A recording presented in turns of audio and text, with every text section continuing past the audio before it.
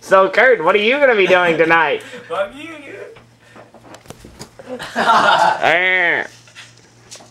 There's Mr. Johnson, aka Finkler. Get that out of my face. Ow. Hey, there's Kurt. Kurt is gonna go have sex with Eric now. Fuck you. Hey.